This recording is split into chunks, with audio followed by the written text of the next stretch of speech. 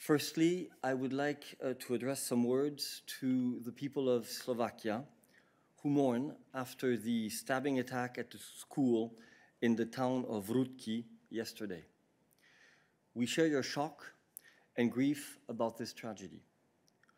On behalf of the European Commission and President von der Leyen, I would like to express our condolences and sincere sympathies to the relatives and friends of the Deputy Director. He died in a selfless act of bravery while protecting his colleagues and students, saving their lives. We wish speedy recovery to the injured, and we express our heartfelt solidarity with the people of Slovakia. I now invite Peter to um, read you out the same message in Slovak.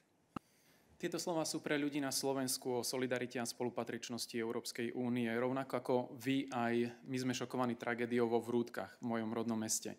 Zdieľame váš smútok a bolesť.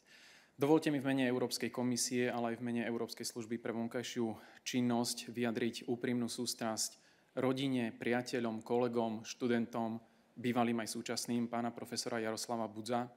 Bol aj mojim triednym učiteľom, učil nás matematiku a chémiu ale jeho posledná lekcia bola z ľudskosti. O odvahe, nezištnosti a sebaobetovaní. Zaplatil za ňu svojim životom, ale zachránil životy iné. Za tomu patrí veľké uznanie a veľká vďaka. Čest jeho pamiatke. Zranenej pani riaditeľke, študentom a policajtom želám v mene Európskej únie skore uzdravenie. Thank you, Peter.